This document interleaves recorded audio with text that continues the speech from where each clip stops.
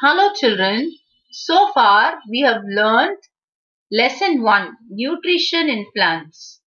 We saw about 4 video lessons. Now today we are going to read the textbook and understand better.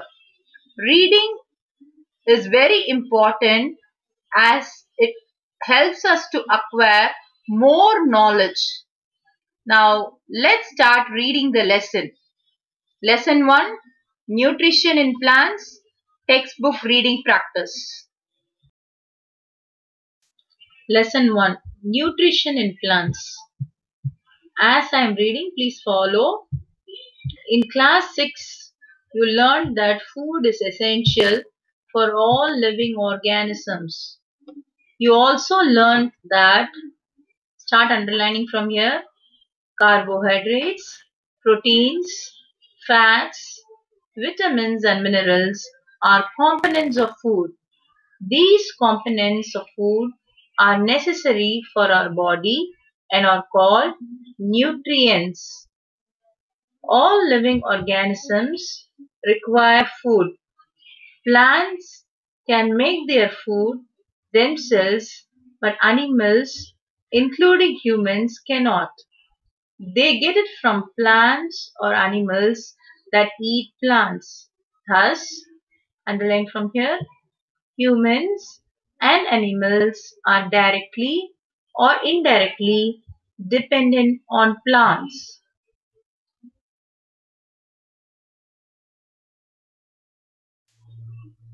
Boojho wants to know how plants prepare their own food. 1.1 Mode of nutrition in plants. Plants are the only organism that can prepare food for themselves by using, underline, water, carbon dioxide and minerals. The raw materials are present in their surrounding.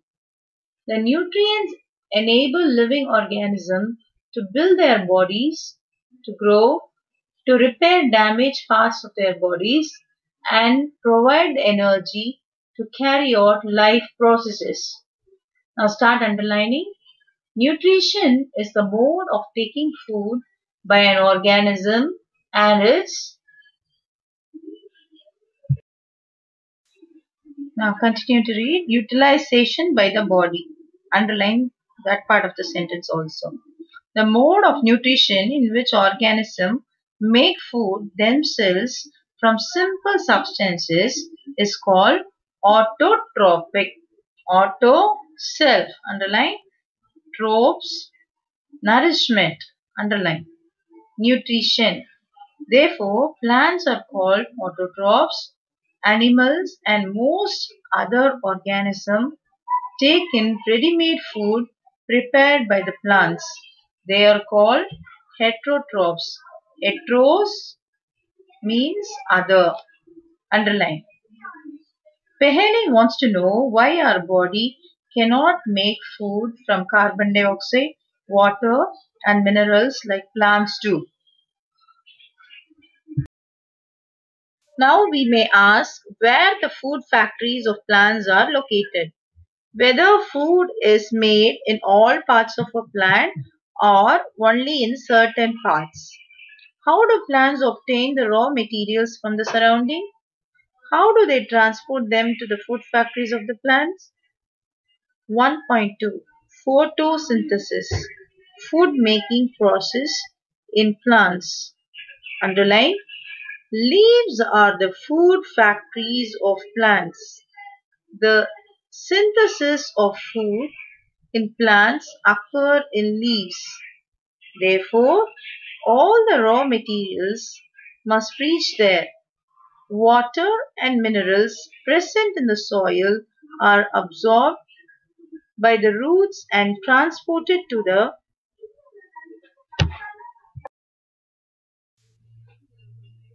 leaves. Carbon dioxide from air is taken in through the tiny pores present on the surface of the leaves. Underline these. These pores are surrounded by guard cells. Such pores are called stomata. Now let's read from the blue box. Cells. You have seen that buildings are made of bricks. Similarly, the bodies of living organisms are made of tiny units called cells. Cells can be seen only under the microscope. Some organisms are made of only one cell.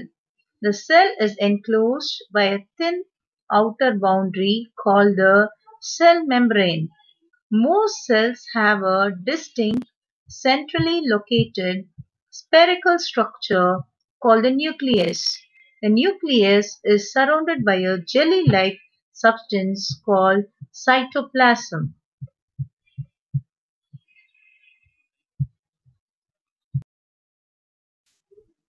Boojho wants to know how water and minerals absorbed by roots reach the leaves. Water and minerals are transported to the leaves by the vessels which run like pipes throughout the root, the stem, and the branches, and the leaves. Underline till here. They form a continuous path for passage for the nutrients to reach the leaf. You will learn about transport of materials in plants in chapter 11.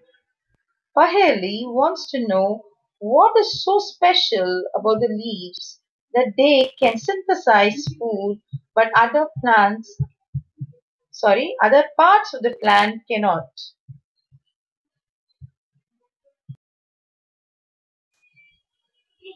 The leaves have a green pigment called chlorophyll.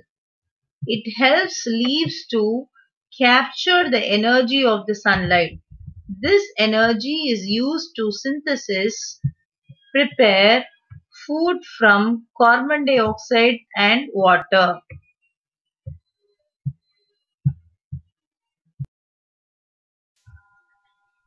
Since the synthesis of food occurs in the presence of sunlight, it is called photosynthesis. Photo, light, synthesis, to combine. So, we find that chlorophyll, sunlight, carbon dioxide and water are necessary to carry out the process of photosynthesis. Any underline? It is a unique process on the earth. The solar energy is captured by the leaves and stored in the plant in the form of food. Thus, sun is the ultimate source of energy for all living organisms. This sentence is very important. Can you imagine the earth in the absence of photosynthesis? In the absence of photosynthesis, there would not be any plants. The survival of almost all living organisms directly or indirectly depends upon the food made by the plants. Besides, oxygen is which is essential for the survival. Of all living organism is produced during photosynthesis. In the absence of photosynthesis, life would be impossible on the earth. During photosynthesis, chlorophyll containing cells of leaves in the presence of sunlight use carbon dioxide and water to synthesize carbohydrates. The process can be represented as an equation. Carbon dioxide plus water in the presence of sunlight and chlorophyll gives carbohydrates plus oxygen. This equation is very important. Now let's read from the blue box. Besides leaves, photosynthesis also takes place in other green parts of the plant, in green stems and green branches. The desert plants have scale or spines-like leaves to reduce loss of water by transpiration. These plants have green stems which carry out photosynthesis.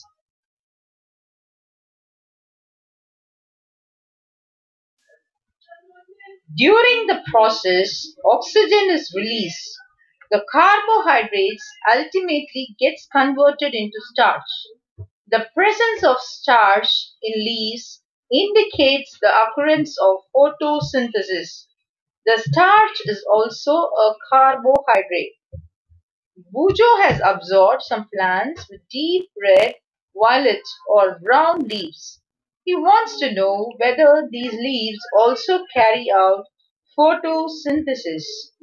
Activity 1.1 Take two potted plants of the same kind, keep one in the dark or in a black box for 72 hours and other in the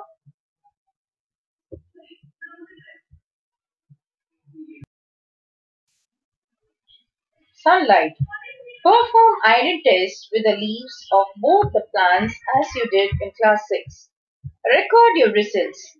Now leave the pot which was earlier kept in the dark in the sunlight for 3 to 4 days and perform the iodine test again on its leaves. Record your observation in your notebook. The leaves other than green also have chlorophyll.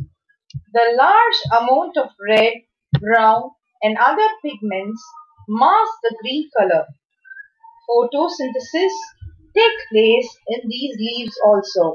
Now underline the line of the sentence. Uh, leaves other than green also have chlorophyll.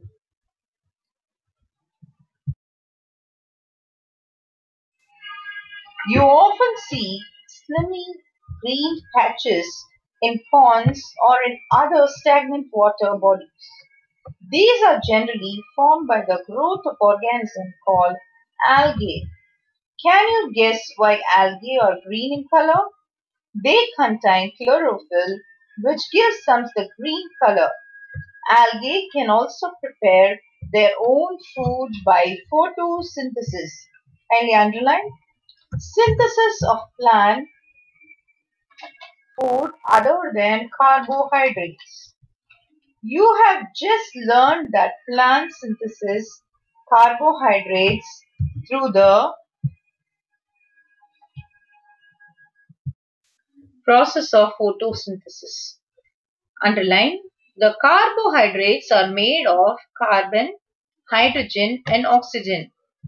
These are used to synthesize other components of food. But proteins are nitrogenous substance which contain nitrogen. From where do the plants obtain nitrogen? Recall that nitrogen is present in abundance in gaseous form in the air. However, plants cannot absorb nitrogen in this form. Soil has certain bacteria that converts gaseous nitrogen into a usable form and release it into the soil. These soluble forms are absorbed by the plants along with water. Also, you might have seen farmers adding fertilizers rich in nitrogen to the soil. In this way, the plants fulfill their requirements of nitrogen along with the other constituents. Plants can then synthesize components of food, other constituents. Plants can then synthesize components of food other than carbohydrates such as proteins and fats.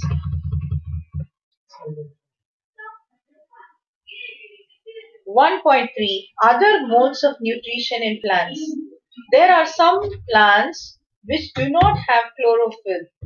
They cannot synthesize their food. How do they survive and from where do they derive nutrition? Like humans and animals, such plants depend on the food produced by other plants. Please underline. These use the heterotrophic mode of nutrition. Look at figure 1.5. Do you see yellow tubular structures spinning around the stem and branches of a tree? This is a plant called Cuscuta Amarbel. It does not have chlorophyll. It takes ready-made food from the plant.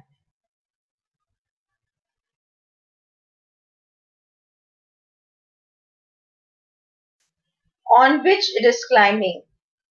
The plant on which it climbs is called a host, kindly underline, since it deprives the host of valuable nutrients.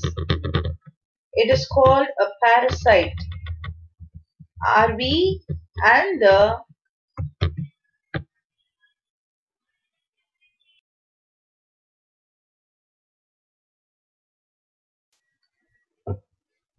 other animals also parasites for the plants.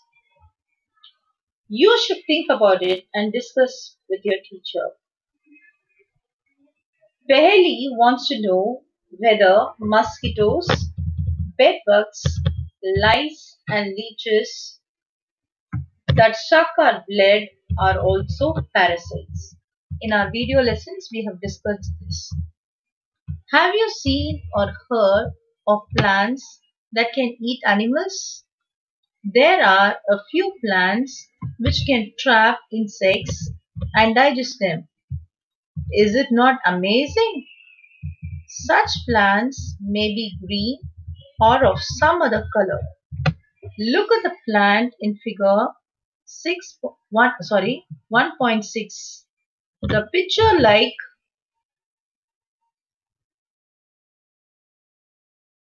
structure is the modified part of the leaf.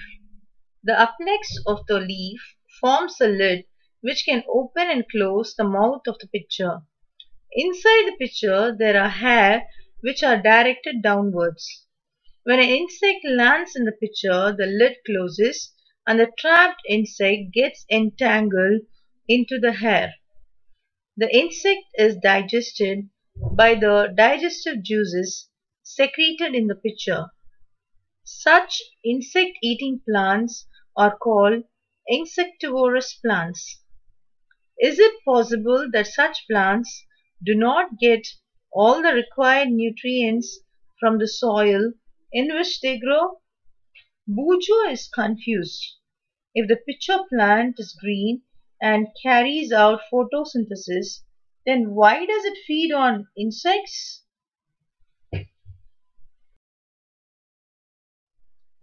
You might have seen packets of mushrooms sold in the vegetable market. You may have also seen fluffy umbrella-like patches growing on rotting wood during the rainy season. Figure 1.7. Let us find out what type of nutrient they need to survive and from where they get them. Boojho wants to know how these organisms acquire nutrients. They do not have mouth like animals do. They are not like green plants as they lack chlorophyll and cannot make food by photosynthesis. Activity 1.2 Take a piece of bread and moisten it with water. Leave it in a moist warm place for 2 to 3 days or until fluffy patches appear on them. These patches may be white, green, brown or of any other color. Observe the patches under a microscope or a magnifying glass. Write down your observations in your notebook. Most probably you will see cotton-like threads spread on the piece of bread. These organisms are called fungi. They have a different mode of nutrition. Kindly underline. They secrete digestive juices on the dead and decaying matter and convert it into a solution. Then they absorb the nutrients from it. This mode of nutrition in which organisms take in nutrients in solution form from dead and decaying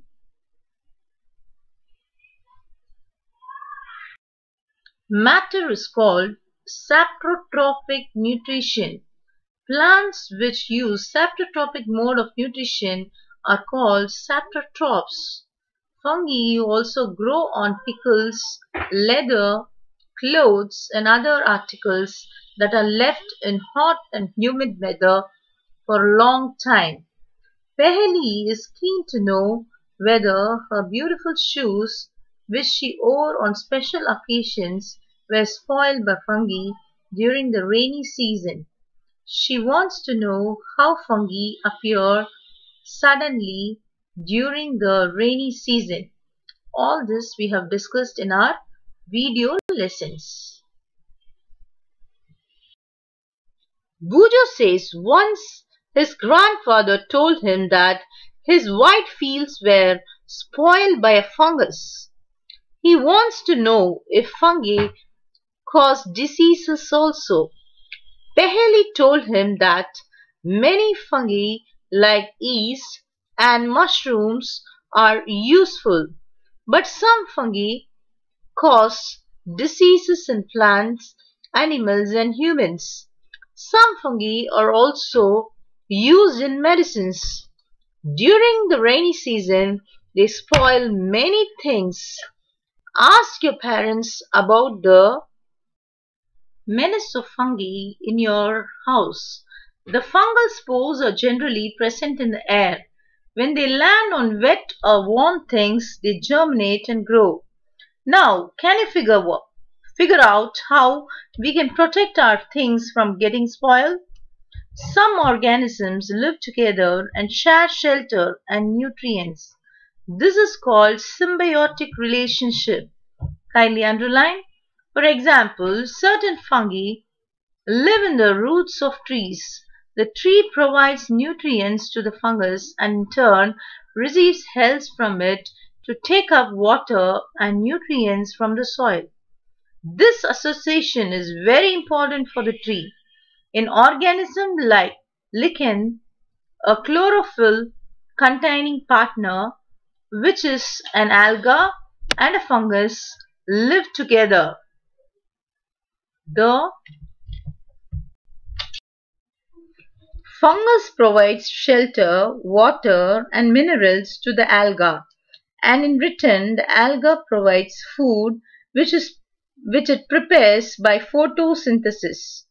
1.5 How nutrients are replenished in the soil. Have you seen farmers spreading manure or fertilizers in the fields? or gardeners using them in lawns or in pots? Do you know why they are added to the soil? You learned that plants absorb mineral nutrients from the soil. So, their amounts in the soil keep on declining. Fertilizers and manures contain plant nutrients such as nitrogen, potassium, phosphorus, etc. These nutrients need to be added from time to time to enrich the soil. We can grow plants and keep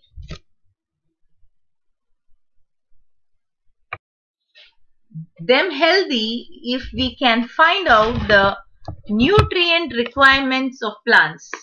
Usually crops require a lot of nitrogen to make proteins.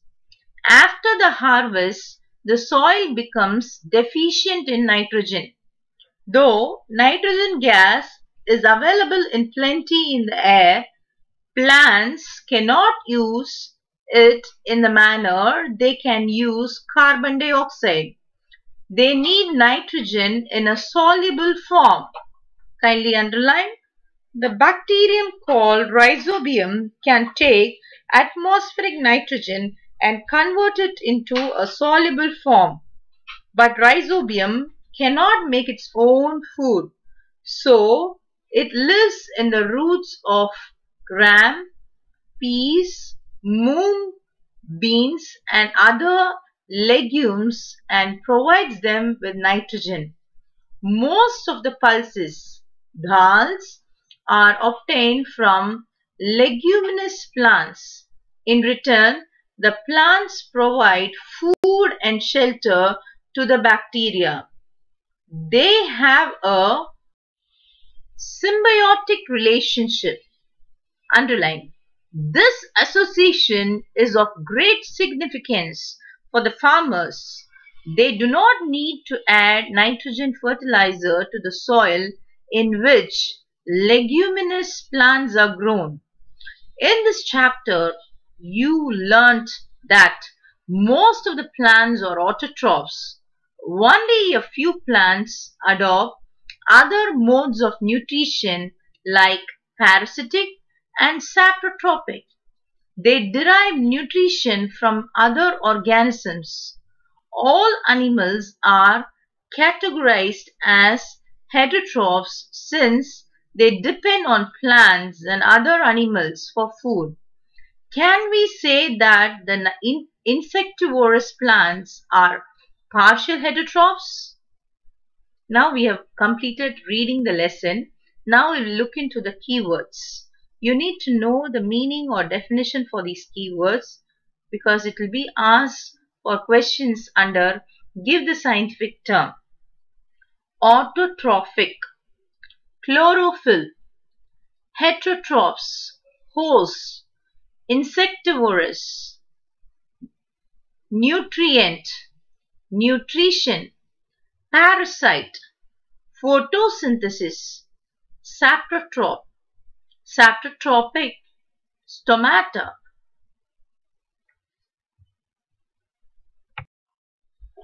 What you have learnt. These are key points which are important to answer your objective type questions.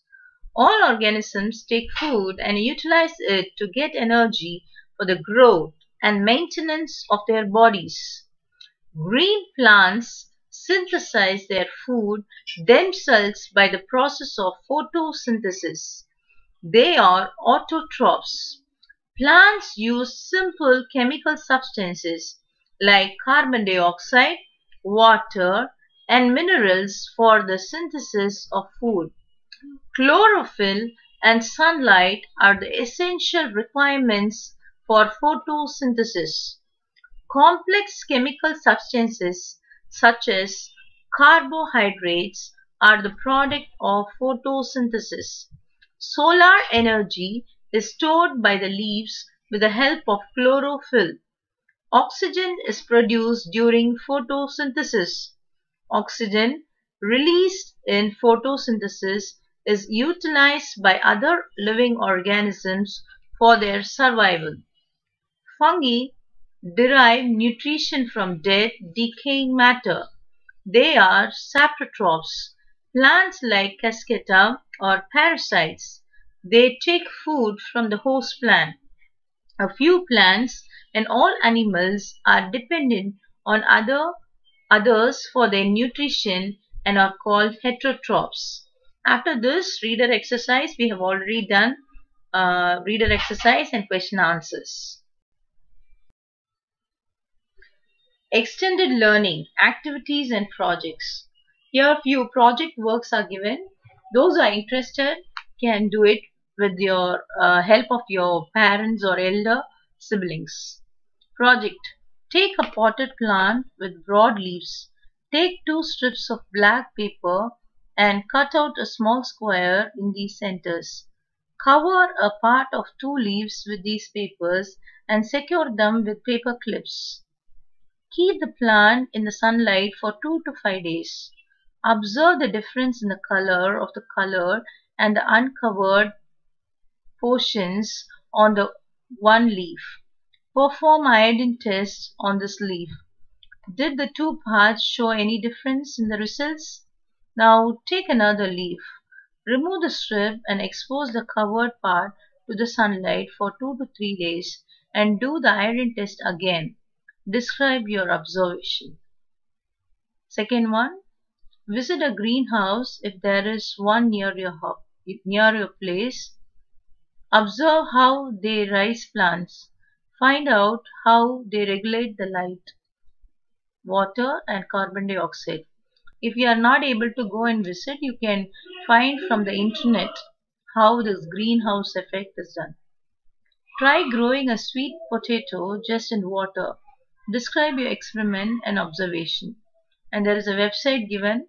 If you are interested, you can go. There is an important fact given at the end. Light is too sorry, light is so important to plants that their leaves grow in many patterns so as to catch the most sunlight. So, uh, so far we have completed lesson 1. We have sent the video lessons, worksheets, reading practice and question and answer. Now finally, we will conduct a home test. So get ready. Prepare for a home test. All the best children.